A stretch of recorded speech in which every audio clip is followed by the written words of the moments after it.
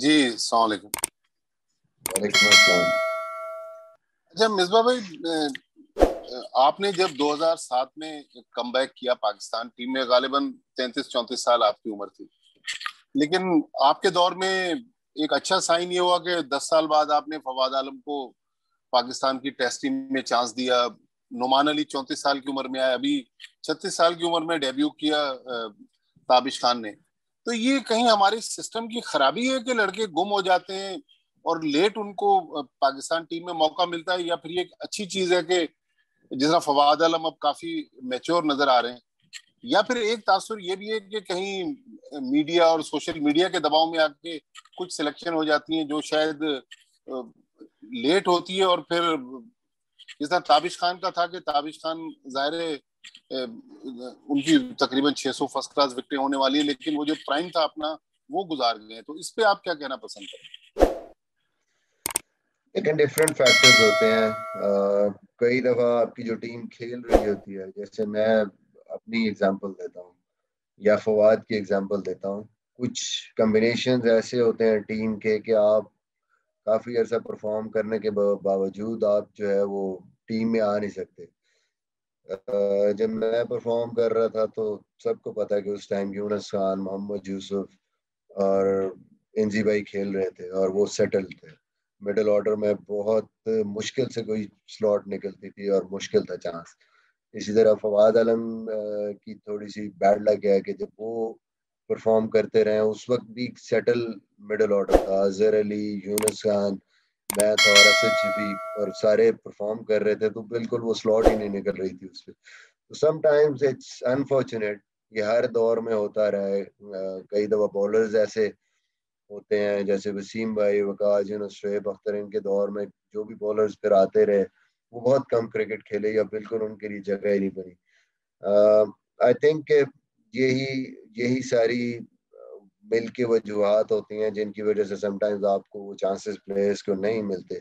But जहाँ तक come back की बात है, या 33 या 34 या 35 या 36 पे खेलने की बात है मैं हमेशा कहता हूँ कि अगर एक प्लेयर फिट है परफॉर्म कर रहा है तो जितनी देर भी सर्व कर सकता है स्पेशली टेस्ट क्रिकेट में पाकिस्तान को।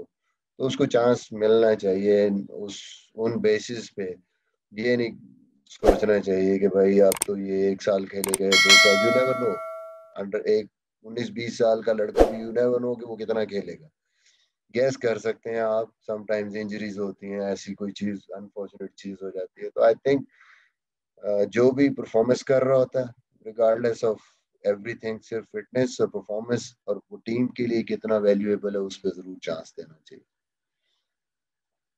बिल्कुल, अस्सलाम जी, वालेकुम मिर्ज़ा, मेरा सवाल आपसे ये है कि बीइंग द हेड कोच मैं आपकी साइकी जानना चाहता हूँ कि जिस तरह पेंडेमिक के दौरान क्रिकेट हुई है, माशाल्लाह पाकिस्तान ने चौंतीस इंटरनेशनल में हिस्सा लिया, नौ टेस्ट छः ओडीआई उन्नीस टी ट्वेंटी छः सीरीज़ जीते लगातार, माशाल्लाह से। तो as a head coach personally आपके अपने पॉइंट ऑफ़ व्यू से ओवरऑल पूरे कैसे आप उसको समराइज करते हो? आप क्या देखते हैं? और ये कितना मुश्किल था इन हालात में लड़कों को मोटिवेट करना उनसे परफॉर्मेंस लेना डिस्पाइट नोइंग दैट के कुछ वेन्यूज में जैसे न्यूजीलैंड में तो क्राउड था।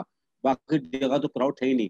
Behind behind the door cricket हुई है। तो उस पूरे माहौल में किस तरह आपने इन सब लड़कों को एक साथ रखा जेल करके? देखिए बात बिल्कुल आपकी ठीक है। ये कोई नॉर्मल टाइम्स नहीं है। इट्स वेरी डिफ़िकल्ट सबसे जो इम्पोर्टेंट चीज़ है, वो ये समझने की ज़रूरत है कि जब नॉर्मल आप क्रिकेट खेलते हैं तो आप लोगों से मिल सकते हैं, बाहर जा सकते हैं। नॉर्मल लाइफ होती है। और सबसे इम्पोर्टेंट चीज़ कि जब आपने किसी टूर पे जाना होता है तो एटलीस्ट वो टाइम आप जो कैंप में गुजारते हैं या घर पे होते हैं तो you you are basically living normal life लोगों से मिल सकते हैं। यहाँ तो अगर आप हफ़्ते का कैंप भी लगता है तो आप पहले ही, दस दिन पहले ही आप फिर बायस की और बबल में चले जाते हैं और आपके लिए बड़ा मुश्किल हो जाता है। I think heads off to everyone जो भी इन्वॉल्व है इसमें टीम मैनेजमेंट है, फिर प्लेयर्स हैं इन टफ टाइम्स में क्योंकि प्रेशर बहुत ज़्यादा होता है इंटरनेशनल क्रिकेट में।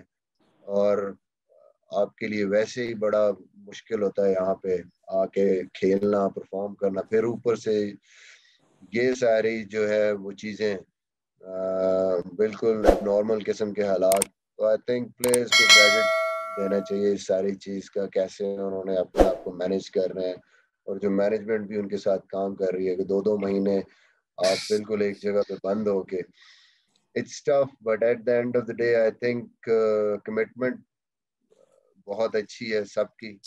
प्लेयर्स uh, की भी मैनेजमेंट जो साथ लोग काम कर रहे हैं और पैशन uh, गेम का उसकी वजह से मेरे ख्याल में इसने अभी तक जज्बा रखा हुआ है कि खेलना है। ज़ाहिर है इस गेम को हम अगर uh, हमारा पैशन है ये तो हमने इसको ज़िंदा रखना है और हमने इसको लोगों के लिए भी खेलना है और अपने लिए भी खेलना आई थिंक ओवरऑल खुशी है कि जिस तरीके से लड़कों ने रिस्पॉन्ड किया है जो परफॉर्मेंसेस दे रहे हैं और जिस तरीके से सबसे अच्छी चीज़ ये है कि आई थिंक मैं पहले भी मैंने कहा था कि जेल हुई है टीम काफ़ी अच्छी आपस में अंडरस्टैंडिंग है और क्योंकि ज़ाहिर है आपकी और कोई एक्टिविटीज़ नहीं है mostly on and off the field आपस में जिस तरीके से लड़के इस टाइम पे जेल हुए हैं और इकट्ठा टाइम गुजार रहे हैं और इवन रमज़ान में भी शहरी और अफ्तारी पे बहुत ज़्यादा आपस में बैठते हैं, आपस में डिस्कशंस होती हैं तो मेरे ख्याल में ये चीज़ें हमें हेल्प कर रही हैं जो डिफ़िकल्ट जो मेंटल एक्सप्रेस स्ट्रेस है उसको डील करना।